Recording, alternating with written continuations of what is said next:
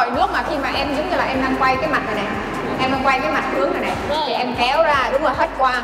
Hồi nãy cái những cái ban đầu của em em hết quá từ cái lúc này luôn nên là nó không có đẹp. Thì em hết đây. lên tới đây rồi đấy. Để giống như là đó như là 3 phần tư thôi ý là tới đây là 3 phần tư nè rồi tới đây nè. Lên. Ừ. Lên. Yes. Đúng đẹp rồi. Nguyễn Trần Khánh Vân Việt Nam Chị Hen ơi, có nghĩa là năm mỗi năm thì em thấy mấy chị là mỗi người sẽ có một ờ, ờ, cách xoay riêng. Khi mà mình ờ, đi ra sân khấu tùy và dạ hội hoặc là bikini thì ờ, năm nay em nghĩ là chắc là chị em mình cũng sẽ chuẩn bị một cái kiểu xoay nào đó để mà em sẽ đem đi thi quốc tế. Nhưng mà đầu tiên là chị hỏi em là em nghĩ thế mạnh của em là gì?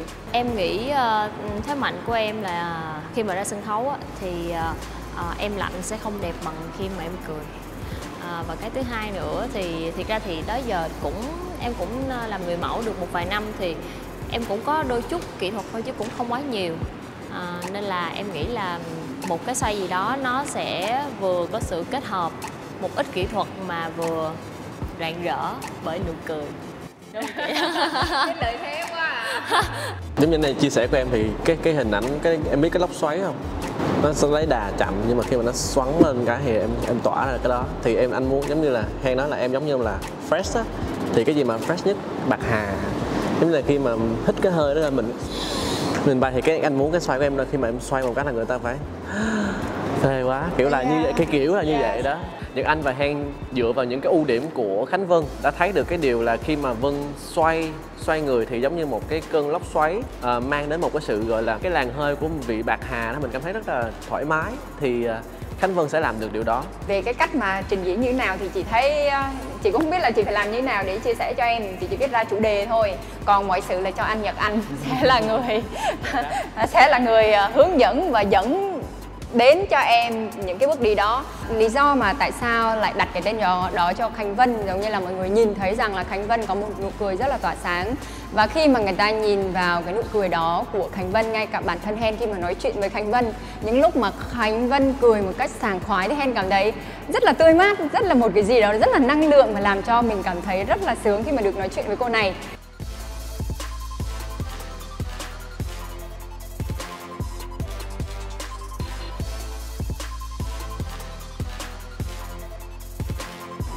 Là ý là chị Hen nói là xoay chậm nhưng mà khi mà ờ, đúng rồi đúng rồi đúng rồi đi. kiểu vậy á.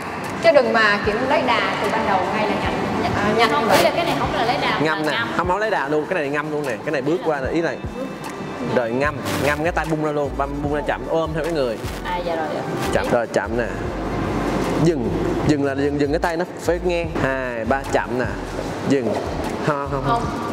Giống như để ví dụ đang vậy em phải slow xong rồi à, mới đi rồi tiếp? đúng rồi đúng rồi đúng rồi. Kiểu vậy á. slow and stop yes đẹp hơn rồi đó. Tìm chỉ trụ. Dừng. Đúng rồi bên bên đó đúng rồi. đúng rồi. đúng rồi đúng rồi. Lúc mà khi mà em giống như là em đang quay cái mặt này này em đang quay cái mặt hướng này này thì em kéo ra đúng rồi hết qua. Hồi nãy cái những cái ban đầu của em em hết quá từ cái lúc này luôn nên là nó không có đẹp. Thì em hết Tới đây. lên tới đây rồi đấy. Để giống như là đó như là 3 phần tư thôi ý là tới đây là 3 phần tư nè. Rồi tới đây nè. Lên. Ừ.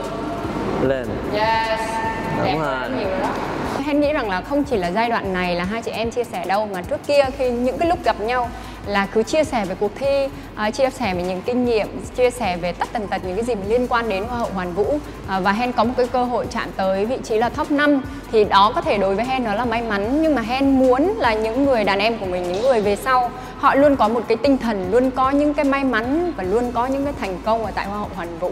Mang cái sự tự hào tôi là cô gái Việt Nam, mang cái sự tự hào tôi là Hoa hậu Hoàn Vũ Việt Nam đến tất cả mọi người truyền cảm hứng cho giới trẻ và hơn hết phải luôn luôn à, trong một cái tầm tầm thế tôi luôn luôn tự tin và tôi luôn muốn truyền cảm hứng làm những điều tích cực cho cộng đồng và xã hội.